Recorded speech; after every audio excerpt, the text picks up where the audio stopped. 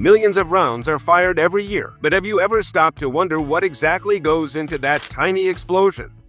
We're talking about ammunition, or more accurately, cartridges. They're mistakenly called bullets, but cartridges are each an explosion waiting to happen in a controlled way.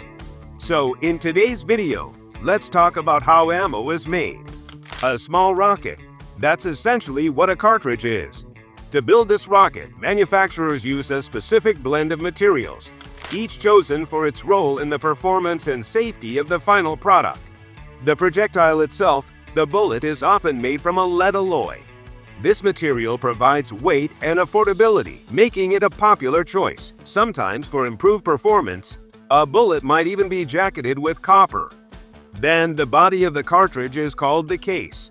These are typically made from strong and durable materials like brass, steel, or even aluminum for shotgun shells a lighter material is used.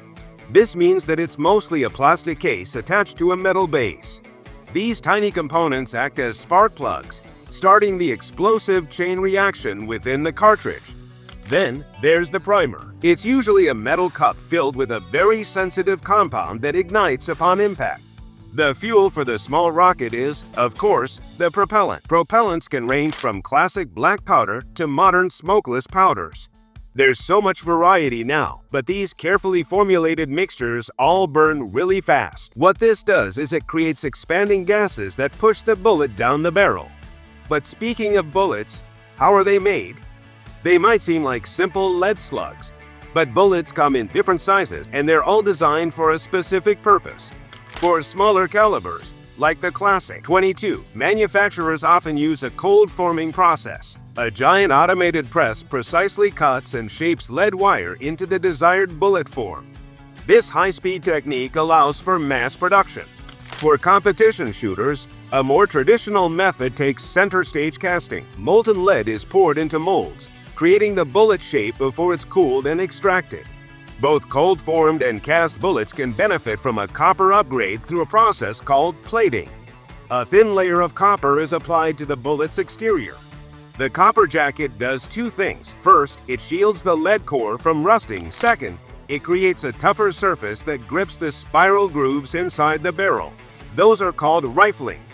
This rifling spins the bullet as it flies, which is super important for hitting your target exactly where you aim. And hey, the copper jacket also helps keep your gun clean after a lot of shooting. Alright, let's talk about the cartridge case. This unassuming little brass cup is the base that holds the bullet. Even though it can be aluminum, steel, or even plastic, brass is king again. It's just easier to make and super tough.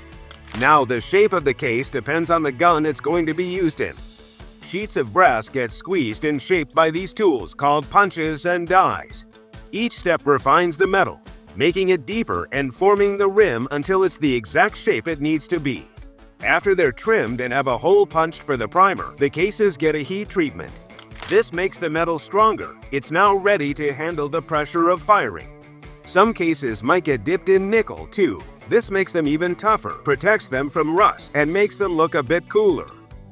Each case gets its own little tattoo with info like the caliber, who made it, and other important stuff so we can track it if needed.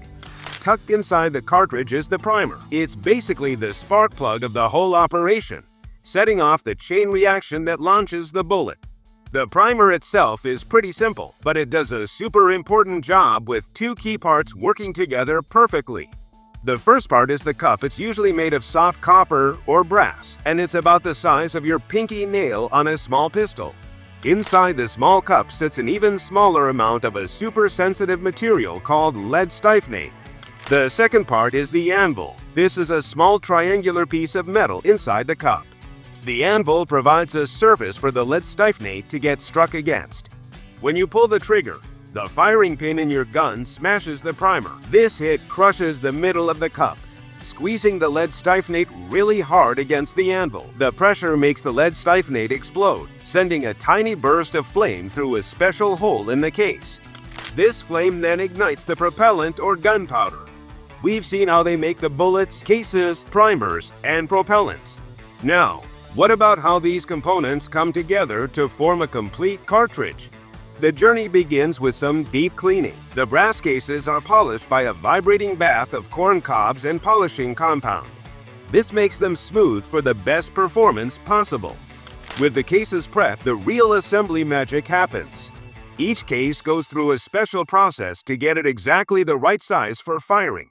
Next, a primer is carefully inserted into the case's designated spot. It needs to fit perfectly to avoid any problems feeding into the gun's magazine. While the primer is getting settled in, the case mouth gets stretched a little to make room for the bullet. Now comes a super important step, adding the gunpowder. We've got to measure this stuff exactly though, because any mistakes could be really dangerous. Time to seat the bullet, it gets placed snugly into the open end of the case with a special lube to help things go smoothly and prevent rust. To make sure everything fits together perfectly and is the right length, the bullet gets crimped into the case. Each piece needs to be fed in the right order and super precisely. Special tools called dies do this job, built to last and make tiny adjustments. Any mess you bust, like forgetting the primer or putting the bullet in wrong, could lead to problems or even a dangerous explosion. Finally, after all this careful work, the finished cartridges get packed up neatly, usually in boxes of 50. They're ready to head off to the shooting range or a responsible gun owner's collection. Making ammo isn't just about throwing some parts together. It's building something that works perfectly every single time. That's where quality control and some factory testing come in. Thousands of rounds from each batch get put to the test by the manufacturer themselves. They measure how accurate the bullet flies, how much pressure it builds when fired, and how fast it zooms down the barrel. And most importantly, how consistent all these things are across the entire batch. To get these super precise measurements, they use special high-tech guns with fancy electronics. Each batch of ammo also gets its own special code printed on the box. This code helps them keep track of everything, and in the very rare case there's a problem with a batch, they can easily recall and replace those specific rounds. Sure, bullets have been around for centuries, but that doesn't mean they're stuck in the past. Ammo is constantly adapting to meet the needs of different users. Thanks for joining us on this exploration of the world of ammo production. Remember, responsible gun ownership is important. Always handle firearms with care and follow all safety protocols. If you're interested in learning more about how objects are made, check out our channel.